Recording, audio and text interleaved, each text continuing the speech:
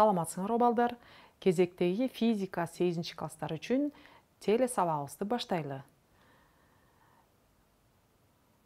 Өтүлгөн темага токтолойлу атом жана молекулалардын массасы. Экинчи атомдук салыштырма атомдук масса. Үчүнчү моль масса авогадро саны. Төртүнчү заттын саны деген түшүнүктөр менен таанышканбыз кыскача аныктамаларына токтоп кетели. Атомдордун массасынын килограмм менен көрсөтүлүшү абсолюттук атомдук масса деп аталат. Ма тамгасы менен белгиленет. Мисалы балдар суутектин бир атомдун массасы тагыраак айтканда абсолюттук массасы бир бүтүн жүздөн алтымыш жети көбөйтүү ондун минус жыйырма төртүнчү даражасында граммга барабар бул эмне дегенди билдирет? Демек бир бүтүн э, жүздөн алтымыш жети деген сандын астында жыйырма төрт нөл бар деген сөз. Өтө кичинекей. Аны эгерде килограммга айландырсак бир бүтүн жүздөн алтымыш алты көбөйтүү ондун минус жыйырма жетинчи даражасына барабар. Көмүртектин абсолюттук массасы бир бүтүн жүздөн токсон тогуз көбөйтүү ондун минус жыйырма үчүнчү даражасындагы граммга барабар. Килограмм менен айландырганда бир бүтүн жүздөн токсон тогуз көбөйтүү минус жыйырма алтынчы даражасына барабар. Кычкылтектин абсолюттук массасы эки бүтүн миңден алты жүз алтымыш жети көбөйтүү минус жыйырма үчүнчү даражасында граммга барабар. Же эки бүтүн миңден алты жүз алтымыш жети көбөйтүү ондун минус жыйырма жетинчи даражасына килограммга барабар бирдик массага салыштырып алынган атомдордун массасы салыштырма атомдук масса деп аталат. Салыштырмалуу атомдук масса мр тамгасы менен белгиленет. Мр англис тилинен которгондо релятив салыштырмалуу чоңдук дегенди билдирет. Формуласы мр барабар ма абсолюттук массаны бир массалык атомдук бирдикке бөлгөнгө барабар. Көмүртектин атомунун массасынын он экиден бир бөлүгү массанын атомдук бирдиги деп аталат. Кыскартып жазганда маб массалык атом бирдиги. Эми массалык атом бирдиги канчага барабар? Ошону чыгарабыз балдар. Ал үчүн көмүртектин абсолюттук массасын он экиге бөлөбүз. Айтып кеткендей көмүртектин атомдук э, абсолюттук массасы бир бүтүн жүздөн токсон тогуз көбөйтүү ондун минус жыйырма алтынчы даражасына килограммды он экиге бөлсөк балдар бир бүтүн жүздөн алтымыш алты көбөйтүү ондун минус жыйырма жетинчи даражасына килограммга барабар экен. Бул бир массалык атом бирдиктин сан чени. Эми салыштырмалуу атом массасын көмүртек үчүн анан суутек үчүн карап өтөлү. Формулага койсок э, суутектин абсолюттук массасы бир бүтүн жүздөн алтымыш алты минус жыйырма жетинчи даражасында килограммга барабар ал эми бир атом масса э, бирдиги ошондой санга барабар. Бир бүтүн жүздөн алтымыш алты көбөйтүү ондун минус жыйырма жетинчи даражасында килограммга барабар. Э, бөлсөк бир чыкты. Биз билгендей Э, менделеевдин мезгил системасында суутектин массасы бирге барабар. Көмүртек үчүн карап өтөлү. Көмүртектин абсолюттук массасы он тогуз бүтүн жүздөн токсон үч көбөйтүү ондун минус жыйырма жетинчи даражасына килограмм. Аны бир э, массанын атомдук бирдигине бөлөбүз. Бир бүтүн жүздөн алтымыш алты көбөйтүү минус жыйырма жетинчи даражасына килограммга. Он эки чыкты. Демек туура менделеевдин мезгил системасында көмүртектин атом массасы он экиге барабар массасы нөл бүтүн миңден он эки килограмм болгон көмүртекте канча атом болсо ошончо сандагы атомдор же молекулалардан турган сан бир моль деп аталат. Ар кандай заттын бир молу бирдей сандагы атомдордон же молекулалардан турат бул авогадро саны. На тамгасы менен белгилейбиз сан мааниси алты бүтүн жүздөн эки көбөйтүү ондун жыйырма үчүнчү даражасындагы моль минус бирге барабар. Бир молдогу заттын грамм же килограмм менен алынган массасы моль масса миу деп аталат. Моль массанын формуласы миу барабар ма абсолюттук массаны авогадро санына көбөйткөнгө барабар ушул эле негизги формуладан э, авогадро турактуулугун таба турган болсок на барабар миу бөлүнгөн ма болот. Заттын массасын таба турган болсок анда бир абсолюттук массаны молекулалардын н санына көбөйткөнгө барабар берілген нәрседегі молекулалардың саны n авогадро тұрақтылығына наға болған қатысы заттың саны ню деп аталады. Демек балдар ә, заттың санының ә, көріп, ә, көріп тұрғандай екі формуласы бар екен. Біріншісі масса аркылуу берилип атат экинчиси зат молекулалардын саны арқылы. Бірінші формулада ню барабар м бөлүнгөн мю экинчи формуласында n бөлүнгөн на ню демек заттын саны м заттын массасы мю моль масса на авогадро саны. Эми ушул формула э, формуладан молекулалардын санынын формуласын таба турган болсок э, силер көрүп тургандай формулаларынын сол жактары ньюга барабар демек оң жактары да бири бирине барабар болот э, ошол барабарлагандан кийин биз молекулалардын санынын формуласын таап алабыз балдар ал төмөнкүгө барабар болот n барабар масса бөлүнгөн мю көбөйтүлгөн на же ню көбөйтүлгөн на болот ушуну менен сабагыбызды кайталадык балдар жаңы темабыз балдар диффузия кубулушу жылуулук жана температура температуралык шкалалар термометрлер. Негизги түшүнүктөр бул темада негизги түшүнүктөрүбүз булар диффузия деген эмне экен жылуулук жана температура менен таанышабыз. Температуралык шкалаларды аныктайбыз жана термометрлердин түрлөрүн айтып өтөбүз. Биз билгендей балдар заттын төрт агрегаттык абалдары бар.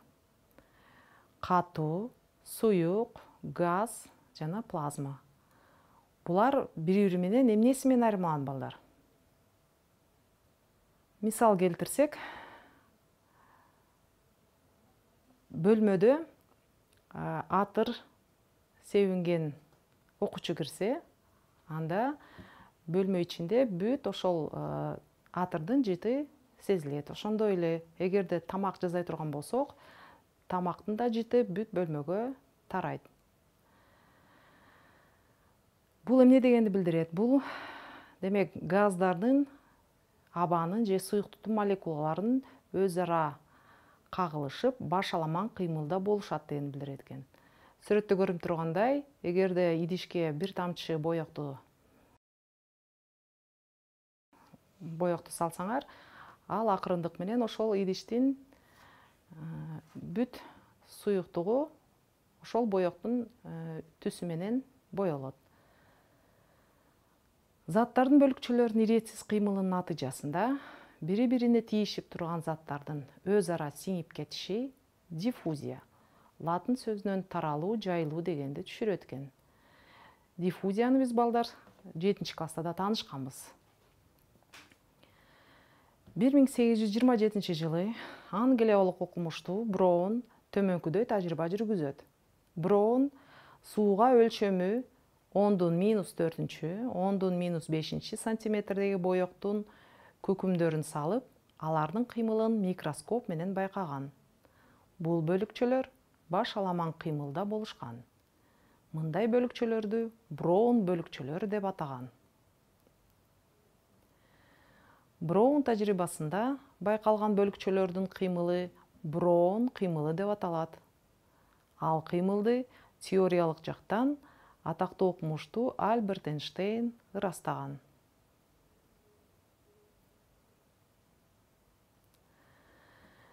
диффузиянын түрлөрү биз айтып кеткендей заттын үч абалында диффузия ар жүрөт диффузия газда диффузия суюктукта диффузия металлда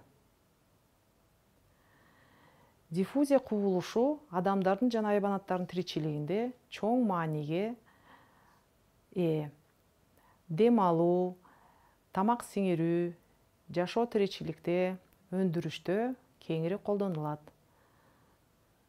Дагы бир сүрөтүбүздө диффузия катуу заттарда металл тетиктерин каңдаганда колдонулат экен. Диффузия турмушта биз э, консервацияларды жасаганда компот вареньялар жасаганда бул жерде байкагандай диффузия кубулушу негизинде жүрөт экен балдар. Заттын агрегаттык абалдары. Үч абалына токтоп кетсек демек биринчиси катуу тело үчүн ички түзүлүшү иреттүү жайгашкан молекулалары термелүүсү молекулалардыкы алардыкы кичине экинчи суюктуктарга тиешелүү экен. Ички түзүлүшү иреттүү эмес молекулалардын термелүүсү көбүрөөк экен. Газдарда ички түзүлүшү башаламан молекулалардын термелүүсү интенсивдүү. Нерселердин муздак же жылуу болушу салыштырмалуу түшүнүк биздин жылуулукту сезүүчү органдарыбыз булар терибиз жылуулуктун ченин жана даражасын тагыраак аныктоо үчүн температура түшүнүгүн пайдаланабыз. Бул сүрөттө көрүнүп тургандай балдар кайсы термометрдин көрсөтүүсү чоң болуп турат? Туура айтасыңар. Сүрөттө үчүнчү термометрдин кырк градуска жеткен термометрдин көрсөтүүсү жогорку болуп саналат. Бул эмне себептен деп ойлойсуңар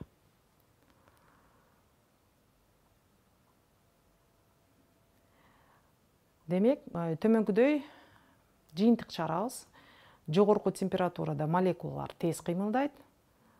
Ал эми төмөнкү температурада молекулалар жай кыймылдайт. Температура латын сөзүнөн которгондо нормалдуу абал. Температура жылуулук нерсени түзгөн бөлүкчөлөрдүн орточо кинетикалык энергиясы менен түздөн түз байланышта болот жетинчи класста биз энергиялардын түрлөрүн карап өткөнбүз балдар. Алар да экиге бөлүнөт кинетикалык жана потенциалдык ошонун ичинде температуранын мүнөздөчү физикалык чоңдугу бул кинетикалык энергия экен формуласы эк барабар мв квадрат бөлүнгөн эки бул формулада силер көрүп тургандай ылдамдык демек эгер молекуланын ылдамдыгы канчалык чоң болсо анын кинетикалык энергиясы ошондой жогору болот Әгерде кинетикалық энергиясы жоғары болса, анда ал телінің температурасы дағы жоғары болады. Температураны өлшеуді сілер білгендей балдар термометрлер менен өлшейбіз. Алардың қысқача түрлеріне тұқтылып кетелі. Ең бірінші жолы неміс оқымыштусы Габриэль Даниэль Фаренгейт 1714 жылы сымап термометрін қолданып ә, мұздың мұздың ерісін адамның температурасын қайнау температураларын анықтап шыққан екен. Мысалы мұздың температурасы 0 градус фаренгейтке барабар мұздың еріген температурасы 32 градус фаренгейтке барабар адамдың нормалды температурасы 96 фаренгейтке барабар суунун кайноо температурасы эки жүз он эки градус фаренгейтке барабар экен. Бул фаренгейт балдар биздин өлкөдө булар колдонулбайт булар көбүнчө америкада жана англияда колдонулат. Кийинкиси реомер бир миң жети жүз отузунчу жылы спирттин негизинде термометрди анықтаған екен. Бұл жерде мұздың еріген температурасы 0 градус реомер суының қайнау температурасы 80 градус реомер 1742 жылы андерс цельсий сымап термометрін қолданып төменгіде жиынтықтарға келген. Ал түтүкчөнү шарча менен аяктаган учуу эрип жаткан муздун ичине салынат. Сымаптын көтөрүлгөн деңгээлин белгилеп ал ноль градус цельсий деп алган.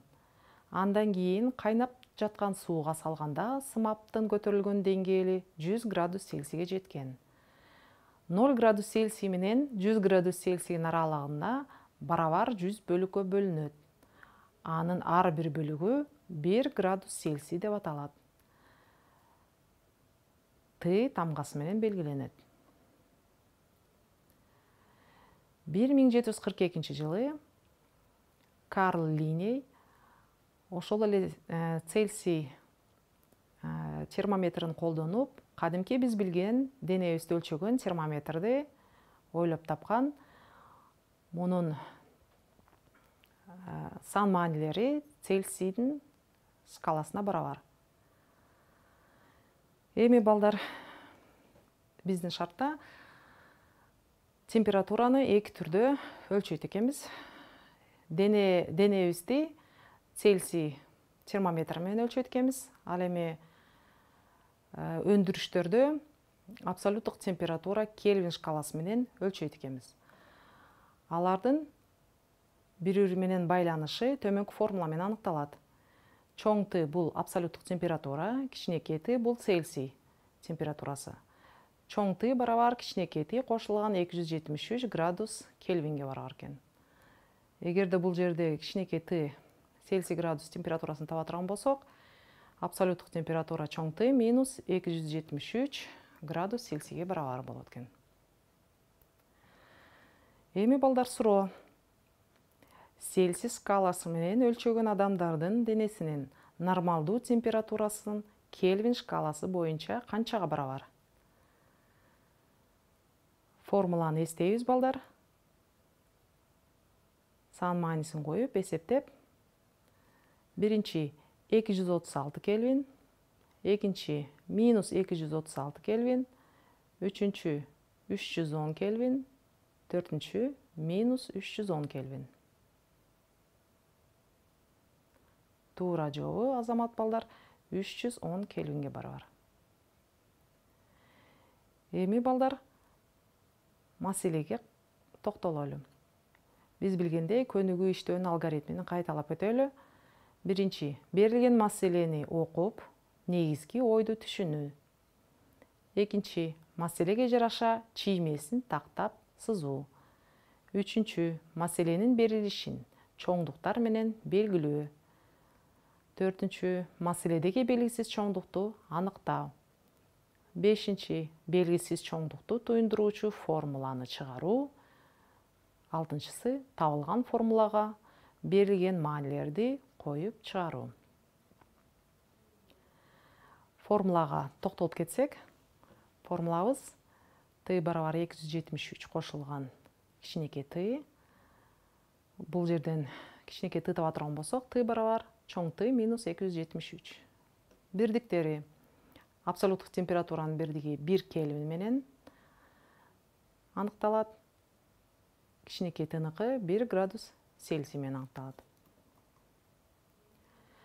маселеге токтолобуз балдар. Биринчи маселебиз шартын окуйбуз адам баласынын нормалдуу температурасы отуз алты градус цельсий. Эгерде асан өзүнүн температурасын кельвин шкаласы менен түзүлгөн термометр аркылуу текшерсе кандай маанини алган болот?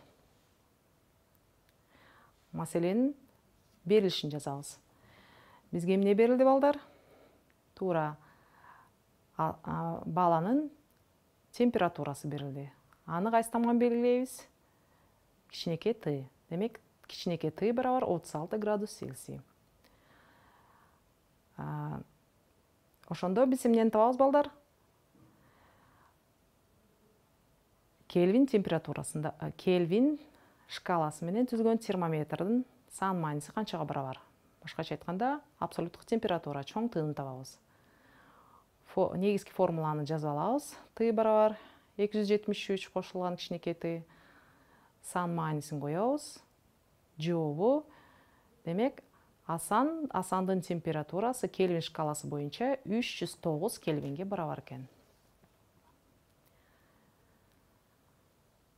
Экинчи маселе.